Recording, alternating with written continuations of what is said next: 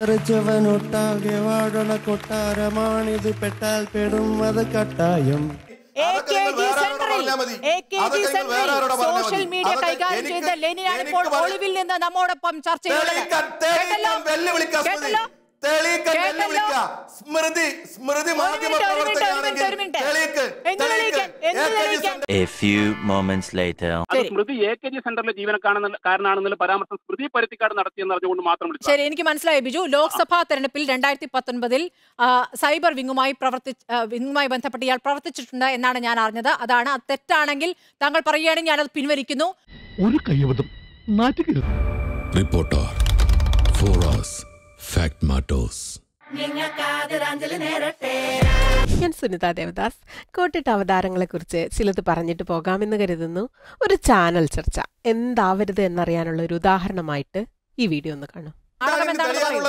Reporter channel reporter ചാനലിലെ Askar reporter ചാനലിലെ അസ്കർ എന്ന് പറയുന്ന കക്ഷിയാണ് ഈ ഗൂഢാലോചനക്ക് നേതൃത്വം കൊടുത്തത് എന്ന് ഇവിടെ ഇതിൽ തന്നെ ഇപ്പൊ ലെനിൻ വന്നു. അഡ്വക്കേറ്റ് ലെനിൻ പറഞ്ഞല്ലോ.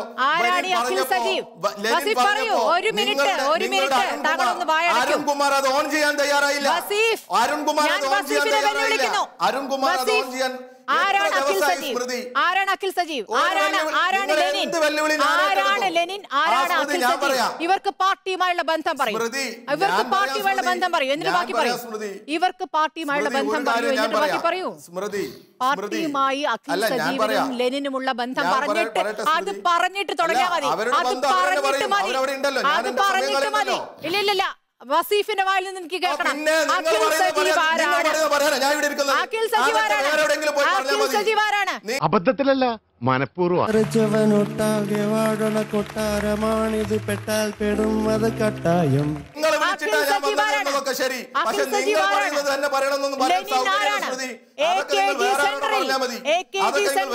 സോഷ്യൽ മീഡിയ കൈകാര്യം ചെയ്ത ലെനിനാണ് ഇപ്പോൾ ഒളിവിൽ നിന്ന് നമ്മോടൊപ്പം ചർച്ച തെളിയിക്കാൻ കേട്ടല്ലോ? വെല്ലുവിളിക്കാം സ്മൃതി സ്മൃതി മാധ്യമ പ്രവർത്തകയാണെങ്കിൽ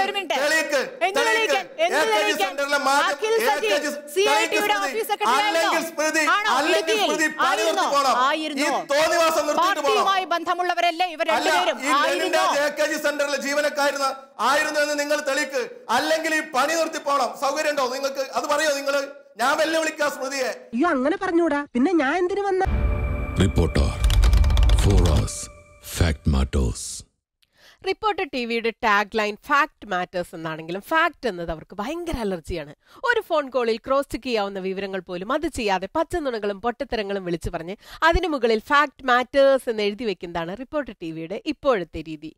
ഈ ഒരൊറ്റ വിഷയത്തിൽ അവർ കൊടുത്ത പച്ചക്കള്ളങ്ങൾ നോക്കൂ. അഖിൽ മാത്യു വീണ ജോർജിന്റെ ബന്ധുവാണ്.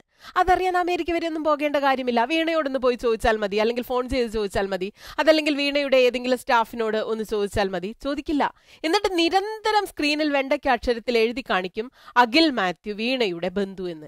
എന്നിട്ട് ഇത് ഭയങ്കര പരാതിയൊക്കെ ആവുമ്പോൾ ആളുകൾ ഇങ്ങനെയൊക്കെ വിമർശിക്കുമ്പോൾ പറയും അത് പരാതിക്കാരൻ ഹരിദാസ് പറഞ്ഞായിരുന്നു ഞങ്ങൾ പറഞ്ഞതല്ലാന്ന്. എടേ അങ്ങനെ പലരും പലതും പറയും. അത് ക്രോസ് ചെക്ക് ചെയ്ത് സത്യം കണ്ടുപിടിക്കുകയാണ് മാധ്യമ പ്രവർത്തകരുടെ ജോലി. ഇന്നലെ ഇവർ വേറൊരു പച്ചക്കള്ളം പറഞ്ഞു. കയ്യോടെ പിടിക്കപ്പെട്ടു. നാണമില്ലാത്തത് കൊണ്ട് ഫാക്ട് മാറ്റേഴ്സ് എന്ന് പറഞ്ഞിട്ട് അടുത്ത കള്ളം പറയാൻ വേണ്ടി അവർ പോയി. ഈ തട്ടിപ്പുകാരിൽ ആരോ ഒരാൾ എ കെ ജി സെന്ററിൽ വർക്ക് ചെയ്യുന്നതാണ് എന്നത് സംബന്ധിച്ച് വാർത്ത കൊടുക്കുന്നുണ്ടെന്ന് പറഞ്ഞു. ഞാൻ അപ്പൊ തന്നെ നിങ്ങളുടെ തിരുവനന്തപുരത്തെ റിപ്പോർട്ടർ ശ്രീജിത്തുമായി ബന്ധപ്പെട്ടു. ആരാണ് എ കെ സെന്ററിലെ ജീവനക്കാരനെന്ന് ചോദിച്ചു. അദ്ദേഹം പറഞ്ഞു ഞാൻ രണ്ട് ദിവസമായിട്ട് പനിയാണ് ഞാൻ അറിയില്ല. അങ്ങനെ എന്തെങ്കിലും ഉണ്ടെങ്കിൽ ഞാൻ നിങ്ങളോട് ക്രോസ് ചെക്ക് ചെയ്യുമായിരുന്നില്ലേ? എന്ന് അദ്ദേഹം ഇങ്ങോട്ട് ചോദിച്ചു. അതിന്റെ അടിസ്ഥാനത്തിലാണ് ഞാനിപ്പോൾ അങ്ങോട്ട് ബന്ധപ്പെട്ടത്. ആരാണ് അങ്ങനെ ഒരു ഒരു എ കെ ജി സെന്ററിൽ വർക്ക് ചെയ്യുന്നത്? ഒന്ന്. രണ്ട് അങ്ങനെ ഒരു എ കെ സെന്ററിൽ ജീവനക്കാരൻ വർക്ക് ചെയ്യുന്നുണ്ടെങ്കിൽ നിങ്ങൾക്കത് ക്രോസ് ചെക്ക് ചെയ്യാനുള്ള ഒരു ബാധ്യതയില്ല. നിങ്ങളുടെ ഈ പറയുന്ന കോർഡിനേറ്റർ ഉൾപ്പെടെയുള്ള നിങ്ങളുടെ റിപ്പോർട്ടർമാർ ഒരു ദിവസം നാലോ അഞ്ചോ തവണ ബന്ധപ്പെടുന്ന ഒരു വ്യക്തിയാണ് ഞാൻ. ഒന്നുകിൽ നിങ്ങൾ അങ്ങനെ ക്രോസ് ചെക്ക് ചെയ്യണം. അല്ലെങ്കിൽ ആധികാരികമായ ഒരു തെളിവ്. ഞങ്ങൾ ഈ പറയുന്ന അല ഞങ്ങളുടെ ജീവനക്കാർക്ക് ഞങ്ങൾ നൽകുന്നത് പരിമിതമായ ഒരു അലവൻസ് ആണ് എങ്കിലും ഓൺലൈൻ ട്രാൻസാക്ഷനിലൂടെയാണ് ഞങ്ങൾ കൊടുക്കുന്നത്. ഇല്ല ഇല്ല. ലെനിൻ രാജ് എന്ന് പറയുന്ന ഒരു വ്യക്തി എ കെ ജി സെന്ററിൽ പ്രവർത്തിച്ചിട്ടേ രണ്ടായിരത്തി പത്തൊമ്പതിൽ വിജു കണ്ടൊക്കെ A K G office secretary അല്ലല്ലോ?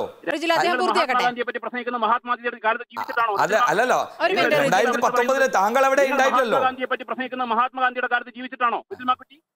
എല്ലാ കഴിവും കൂടി ദൈവം ഒരാൾക്ക് കൊടുക്കൂലല്ലോ. മണ്ടൻ.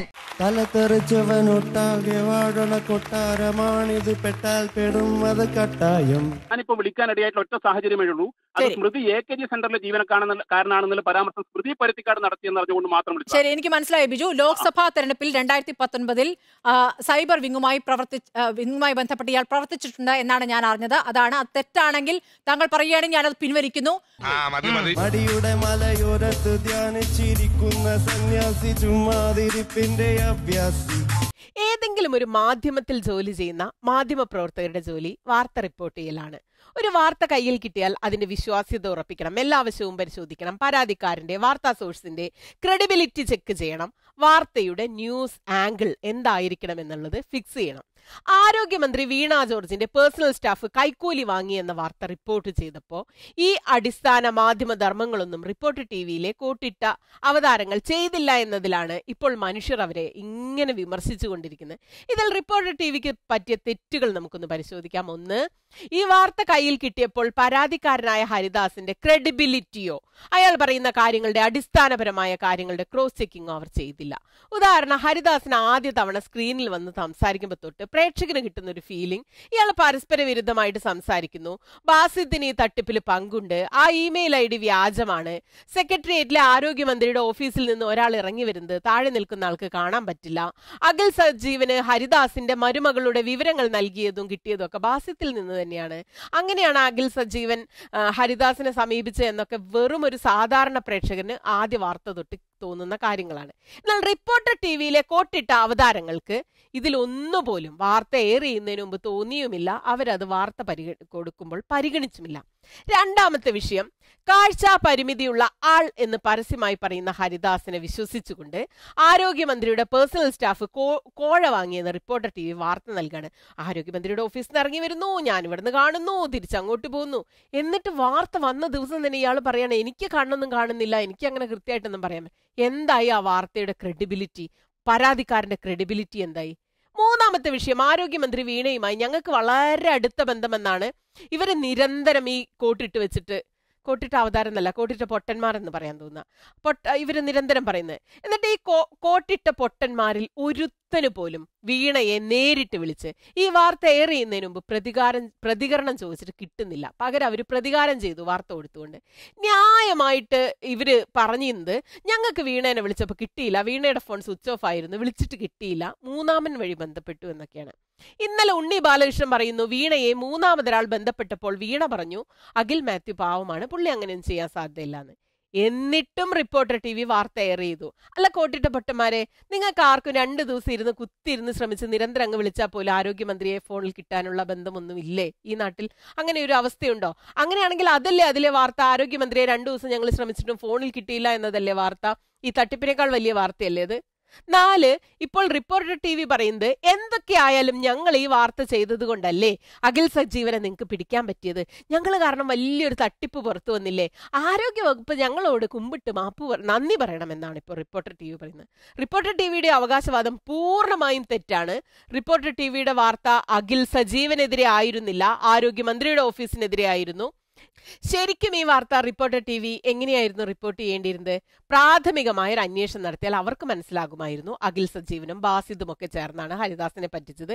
ഹരിദാസൻ ഒരു അഴകുഴമ്പൻ മനുഷ്യനാണ്. പറഞ്ഞത് പലതും മാറ്റി പറയും ക്രെഡിബിലിറ്റി ഇല്ല കണ്ണ് കാണില്ല.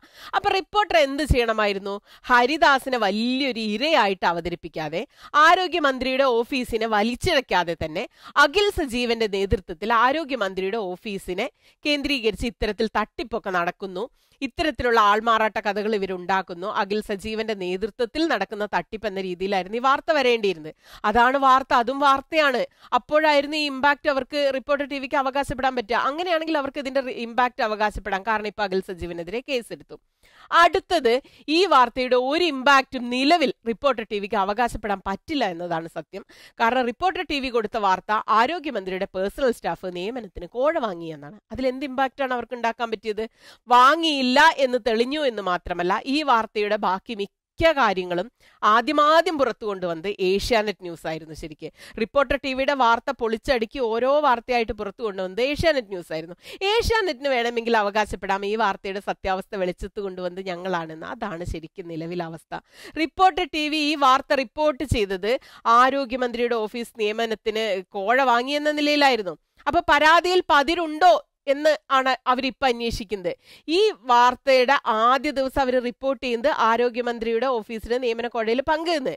ഇന്നലെ അവർ ചർച്ച ചെയ്യുന്ന അവരുടെ വിഷയം എന്താ വെച്ചാൽ പരാതിയിൽ പതിരുണ്ടോ എന്ന് ചോദിക്കുന്ന അവസ്ഥയിലേക്ക് എത്തിയിരിക്കുന്നു. അപ്പൊ നിങ്ങൾ നോക്കൂ ഈ അഞ്ച് ദിവസത്തെ റിപ്പോർട്ടർ ടി വിയുടെ റിപ്പോർട്ടിങ്ങിന്റെ ഒരു നാൾ വഴി പരിശോധിച്ചാൽ അവർ പറയുന്ന അയ്യോ ഞങ്ങളൊരു തട്ടിപ്പ് പുറത്തു കൊണ്ടുവന്നപ്പോൾ ഞങ്ങളെ ക്രൂശിക്കുന്നേ എന്നുള്ള എല്ലാ അവകാശവാദവും തെറ്റാണെന്ന് മനസ്സിലാകും. നിങ്ങൾ ഈ സ്ക്രീൻഷോട്ടുകളൊന്ന് നോക്കൂ അവരുടെ വാർത്തയുടെ നാൾ വഴിയാണ്. അവരെവിടെ തുടങ്ങി എവിടെ എത്തി നിൽക്കുന്നു എന്ന് ഈ സ്ക്രീൻഷോട്ടുകൾ നമ്മളോട് സംസാരിക്കും. റിപ്പോർട്ടർ തന്നെ പുറത്തുവിട്ട എക്സ്ക്ലൂസീവ് ബ്രേക്കിംഗ് ആണ്. ആരോഗ്യമന്ത്രി വീണ ജോർജിന്റെ പേഴ്സണൽ സ്റ്റാഫ് അംഗത്തിനെതിരെ കൈക്കൂലി ആരോപണം. മന്ത്രിയുടെ പേഴ്സണൽ സ്റ്റാഫ് അംഗമായ അഖിൽ മാത്യുവും ഇടനിലക്കാരനായ Pathanamthitta C I T U ജില്ലാ മുൻ ഓഫീസ് സെക്രട്ടറി അഖിൽ സജീവും പണം തട്ടിയെന്നാണ് പരാതി. മകന്റെ ഭാര്യയ്ക്ക് ആയുഷ് മിഷന് കീഴിൽ ഹോമിയോ മെഡിക്കൽ ഓഫീസറായി നിയമനം നൽകാമെന്നായിരുന്നു വാഗ്ദാനമെന്ന് മലപ്പുറം സ്വദേശി ഹരിദാസ് പറഞ്ഞു. റിപ്പോർട്ടർ എക്സ്ക്ലൂസീവ് ആയിരുന്നു ഈ വാർത്ത.